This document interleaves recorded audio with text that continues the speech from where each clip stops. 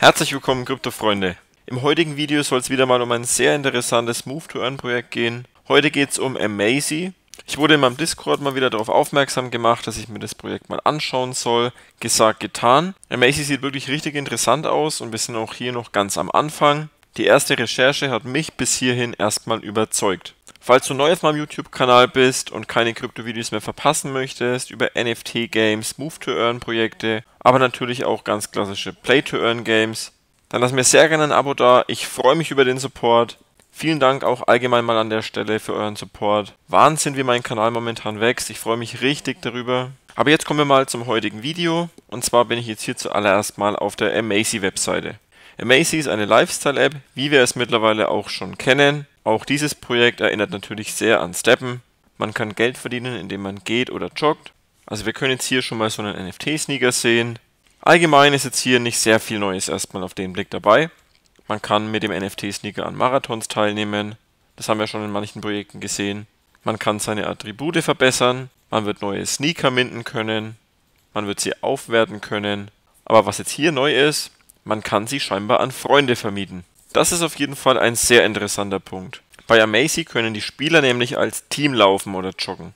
Auf dem In-App Marketplace kann jeder Nutzer Turnschuhe kaufen, verkaufen oder mieten. Auch hier wird jetzt wieder geschrieben, dass die Mission ist, die Leute mehr rauszubringen. Die sollen damit auch noch Geld verdienen. Man soll animiert werden, einfach auch den heimischen Schreibtisch mal ein bisschen mehr zu verlassen. Da muss man jetzt schon auch sagen, das wird bei eigentlich jedem Move-to-Earn-Projekt geschrieben. Das ist jetzt nichts mehr Neues für uns. Falls ihr euch wundert, warum das jetzt hier so komisch aussieht, das ist einfach nur, weil ich die Seite durch den Google-Übersetzer laufen habe lassen. Dadurch hat sich jetzt hier die Schrift so ein bisschen verzogen, aber erstmal ignorieren an der Stelle. Amazy kommt nicht aus dem asiatischen Raum, sondern tatsächlich aus dem russischen Raum. Was mir hier relativ gut gefällt auf den ersten Blick, Unterstützer und Partner sind hier abgebildet. Und zwar wirklich auch nicht zu wenige. Wir haben hier Promis und Künstler eine Kategorie, wir haben Instagram, da sehen wir einige Influencer, wir haben auch YouTube, wir haben Krypto und wir haben TikTok. Also einiges aufgeführt. Ich bin jetzt hier mal so ein bisschen durchgegangen. Ich habe jetzt beispielsweise hier mal einfach diesen Meister der Kryptorevolution angeklickt. Da bin ich hier rausgekommen und ich konnte auch tatsächlich ein Video finden von ihm. Das können wir uns mal kurz anschauen. Das hat er bei Twitter gepostet. Leider nicht sehr viele Likes, also da ist er rumgelaufen. Hat ein Video dazu abgedreht, wie er quasi mit Amazy Geld verdient. Das ist noch eine Testversion weil das Game an sich gibt es noch gar nicht. Von der Optik können wir aber auf jeden Fall schon mal sehen, dass es schon ordentlich aussieht. Also gefällt mir jetzt erstmal grafisch richtig gut. Und ist auf jeden Fall scheinbar auch real von der Webseite selber, dass derjenige auch wirklich schon mal was zu Amazy gebracht hat und hier nicht einfach irgendein Fremder auf der Seite verlinkt ist. Auch bei Amazy hat man verschiedene Schuhtypen, auch das kennen wir schon. Hier gibt es jetzt eben Ranger, Wanderer, Sprinter und Trainer. Die Schuhe sind dann auch wieder der Geschwindigkeit angepasst und je mehr Turnschuhe man besitzt, desto höher ist dann auch das Energielevel. Auch hier nichts Neues für uns. Ich muss aber auch nochmal an der Stelle vielleicht sagen, viele sagen ja immer, ja, eine Steppenkopie und hier noch eine Steppenkopie. Ich gebe euch auf jeden Fall ein Stück weit recht. Steppen ist der Big Player bei Move to Earn. Nach wie vor. Und natürlich ist es auch ganz normal, dass viele einfach mitziehen wollen. Man muss aber trotzdem verstehen, es gibt auch nicht nur eine Kryptowährung, die ein Problem löst, es gibt verschiedene Krypto-Projekte, die sich auch sehr ähneln in ihrem Mehrwert. Es muss nicht immer nur einen Big Player geben, es kann auch links und rechts noch andere Projekte geben, die auch erfolgreich sind. Wenn hier wirklich das Team stimmt, das Ökosystem stimmt und allgemein vor allem das Team einen guten Job macht, dann kann auch ein anderes Projekt neben Steppen sehr erfolgreich sein und sogar auch Steppen vielleicht den Rang ablaufen. In meinem gestrigen Video bin ich ja darauf eingegangen, dass es momentan sogar auch mal negative News gibt, zumindest aus meiner Sicht, das mit der Binance Smart Chain gefällt mir überhaupt nicht. Wer weiß, vielleicht ist es ja auch die Möglichkeit für ein anderes Projekt, das Stück weit auch sich an Steppen vorbeizuschieben. Man weiß es nicht, ich möchte einfach nur mal kurz darauf eingehen, macht nicht immer nur die Scheuklappen rauf, nur weil ein Projekt sehr, sehr ähnlich aussieht wie das andere. Entscheidend ist letztendlich, was die Leute von diesem Projekt halten und was das Team für eine Arbeit macht. Das in Kombination kann auf jeden Fall auch erfolgreich sein. Die Sneakers sehen meiner Meinung nach ein Stück weit besser aus als bei Steppen zum Beispiel. Auf die einzelnen Punkte hier gehe ich jetzt erstmal nicht mehr weiter ein. Auch das ist eigentlich nahezu identisch.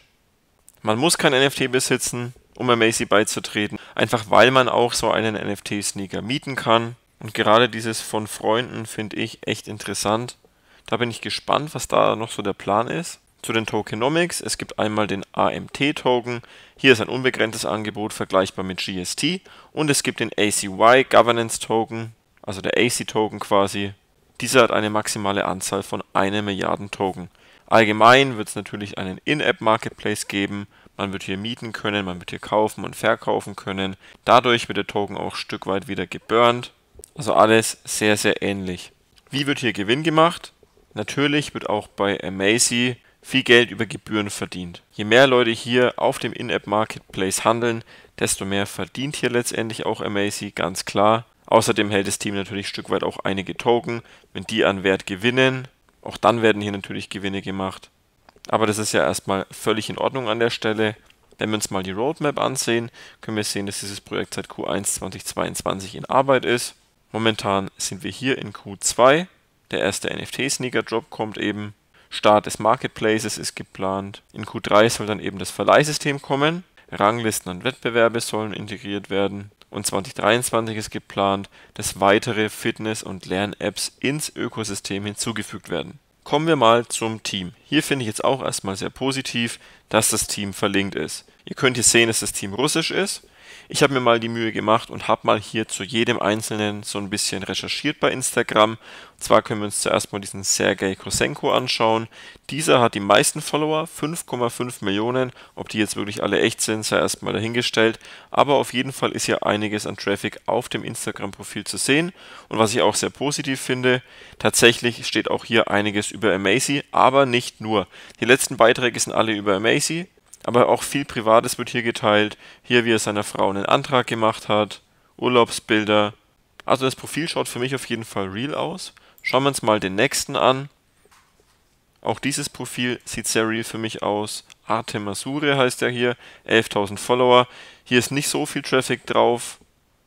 Die 11.000 Follower werden wahrscheinlich nicht echt sein, aber auf jeden Fall werden hier regelmäßig Bilder gepostet, was ich sehr positiv finde.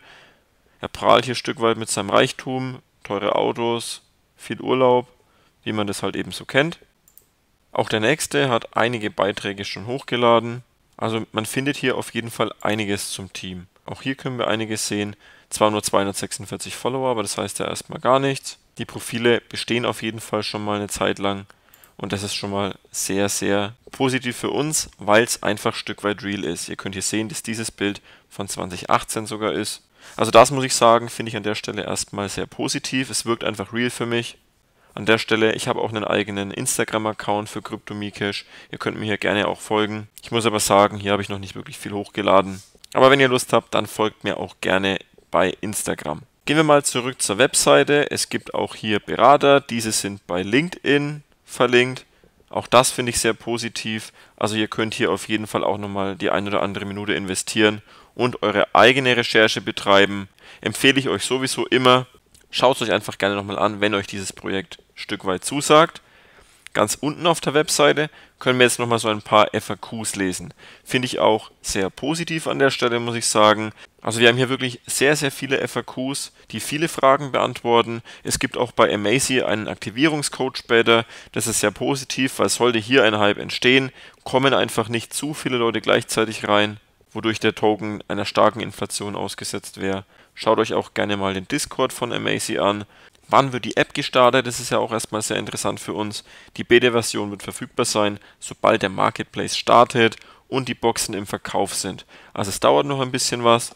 Wann wird der Tokenkauf verfügbar sein? Hier ist jetzt scheinbar eben Juni 2022 geplant.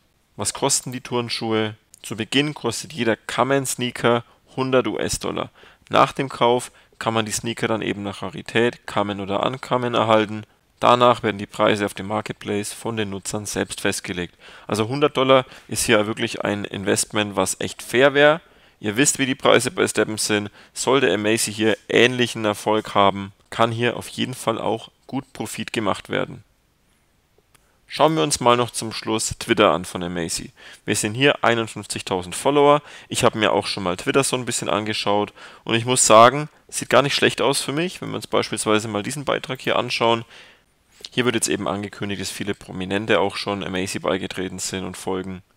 Und wenn wir uns mal die Kommentare anschauen, da achte ich ja immer so ein bisschen drauf, wenn ich mir Twitter mal anschaue. dann können wir schon sehen, dass hier sehr, sehr viele private Profile scheinbar schreiben. Ich spreche jetzt kein Russisch, deswegen habe ich mir hier einfach mal ganz schlecht den Google-Übersetzer rausgesucht. Wenn wir jetzt hier einfach mal schauen und uns irgendeinen Kommentar mal rauskopieren, einfach weil uns interessiert, wie diese Kommentare hier sind, ob die real sind oder ob das irgendwelche Bots sind. Da muss ich echt sagen, schaut echt real aus. Hört sich cool an, lass uns das prüfen, lass uns gehen. Gut, es ist jetzt schlecht vom Google-Übersetzer übersetzt, aber es sieht auf jeden Fall nicht nach einem reinen Bot-Kommentar aus. Hier können wir uns nochmal was anderes anschauen, freue mich drauf. Die Jungs sind sehr cool. Meistens sind ja Bot-Kommentare hier wirklich auch immer dasselbe. Ich freue mich aufs Projekt, ich freue mich aufs Projekt, ich freue mich aufs Projekt. Immer dasselbe normalerweise. Und hier können wir wirklich sehen, dass hier auch echte Sätze verfasst werden von den Nutzern. Wir hoffen, dass dieses Projekt sowohl für diejenigen, die an dem Projekt arbeiten, als auch für diejenigen, die damit spielen, schnell und erfolgreich sein wird. Also ich denke, ihr könnt hier selber sehen, dass hier schon ein Stück weit Traffic auf jeden Fall drauf ist. Das finde ich auf jeden Fall auch sehr, sehr positiv an der Stelle. Je mehr Leute eben auf Amacy aufmerksam werden, desto besser letztendlich für uns, falls wir investieren. Ja, und damit bin ich auch schon wieder am Ende vom heutigen Video. Ich hoffe, euch hat es gefallen. Amazy, ein interessantes Move-to-Earn-Projekt meiner Meinung nach. Ich werde es beobachten. Vielen Dank an der Stelle auf jeden Fall auch nochmal, Waldemar, für diesen Hinweis auf dieses Projekt. Ich würde mich riesig freuen, wenn ihr weiterhin den Algo für mich pusht, Leute. Lasst mir gerne eine Bewertung da und am besten auch noch einen Kommentar. Teilt mein Video, damit es viele Leute sehen. Vielen Dank für euren Support und vielen Dank fürs Zuschauen. Wir sehen uns im morgigen Video. Ciao.